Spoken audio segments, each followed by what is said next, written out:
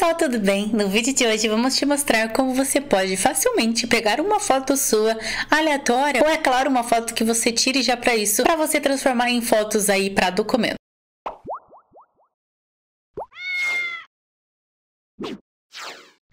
Mas antes, queria pedir para você já deixar sua curtida que você te muito.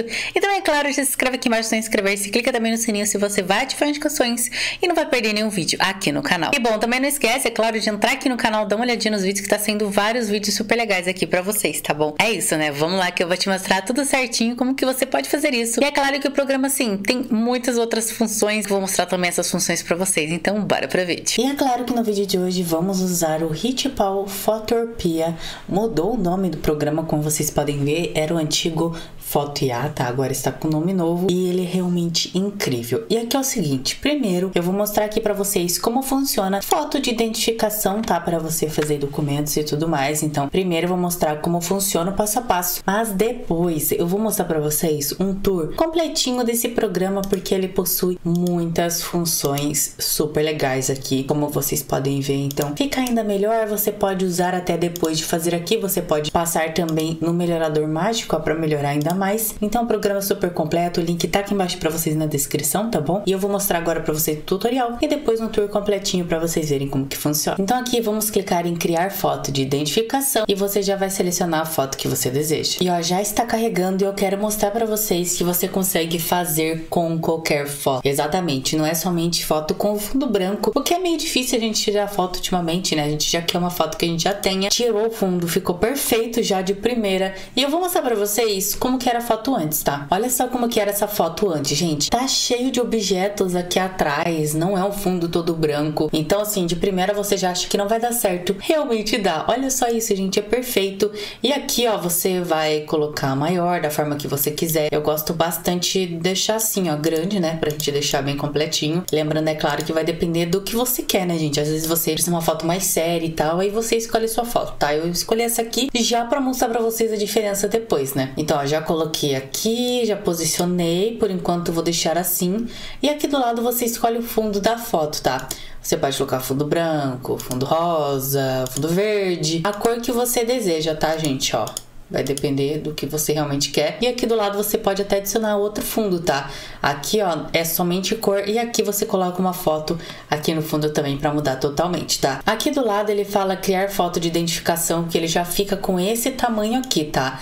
Mas se você quiser, você pode desativar e ele simplesmente vai colocar a foto normal esse tamanho, tá? Mas como eu quero desse jeito, eu vou deixar assim, tá? Ó, e vou dar o zoom aqui novamente. E aqui do lado também tem país, você pode colocar outros aqui também, ó, para você ver o tamanho, tá vendo? Estados Unidos, Reino Unido, Japão, Espanha, tá vendo? Tem vários tipos de tamanhos. Eu vou deixar o comum aqui mesmo, tá? E também tem outros tamanhos aqui do lado, tá? Mas eu vou deixar esse no comum mesmo, que é o que acaba usando mais. É legal que aqui, gente, é o seguinte, aqui tem o apagar, que você pode. Olha isso, gente, é incrível. Você pode simplesmente apagar, tá? Algo, por exemplo, meu cabelo eu não gostei muito daqui, ó. Eu posso deixar ainda mais cortado, tá vendo? Se vocês verem desse lado aqui, tá vendo? Eu consigo deixar ainda mais cortadinho, ó. E por exemplo, aqui, ó, vou pegar a mãozinha aqui para mover a tela. Tá vendo que tá essa parte aqui? Então eu venho, dou zoom aqui, tá vendo que tá ali, ó? Eu venho novamente com apagar e vou apagar aqui, ó, para não aparecer aquela parte, tá? Acaba às vezes parecendo, né, ó, aquecer um pouquinho, coloco o escovar e vou passar aqui novamente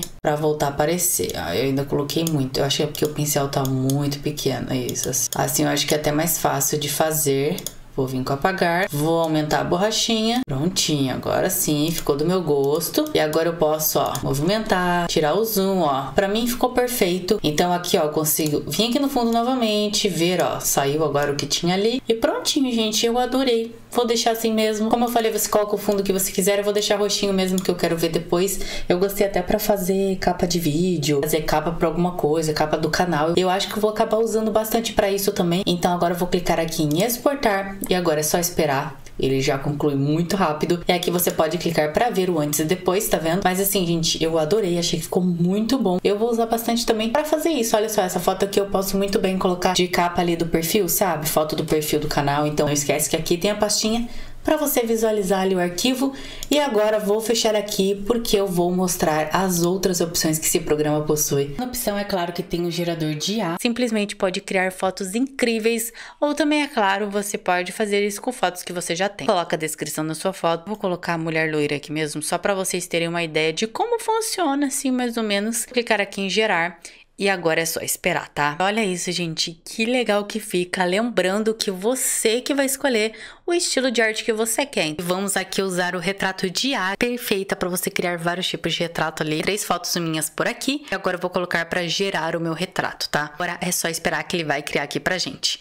E quando terminar, prontinho, ele criou vários tipos de fotos ali. Tem mais funções que é para remover o fundo de imagens também. Olha só, gente, esse aqui é o resultado final, tá? Que removeu o fundo aqui tudo certinho, mas aqui é você ainda consegue editar. Então, se você gostar do resultado, depois é só você clicar aqui em exportar. Aqui está em concluído, você pode tanto abrir a pasta quanto também dar uma olhadinha aqui no antes e depois. Também tem o retocar. Esse é para você remover objetos, pessoas da sua foto que você realmente não quer ter ali na sua foto. No pincel aqui em escovar e terminar de selecionar o que você quer remover, tá vendo? Ver como que fica. Agora é só esperar um pouquinho. E prontinho, gente, ele já remove na o aprimorador de ar. Então aqui, como eu falei para vocês, é uma foto de rosto, um modo macio, porque eu acho que fica muito mais bonito. E agora eu vou colocar para visualizar. E olha isso, gente. Sério, é incrível. Olha isso, ele mostra todos os detalhes agora. Olha, olha esse antes e depois, gente. Então não esquece que ele tem muitas opções, eu sou realmente apaixonada por ele. Então o link tá aqui embaixo para vocês na descrição do vídeo. Depois comenta aqui qual foi a sua função favorita desse programa que eu quero saber. Bom, então é isso, né, pessoal? Espero muito que vocês tenham gostado do vídeo de hoje. Se você ficou com alguma dúvida, é só comentar aqui embaixo. Até o próximo vídeo. Tchau!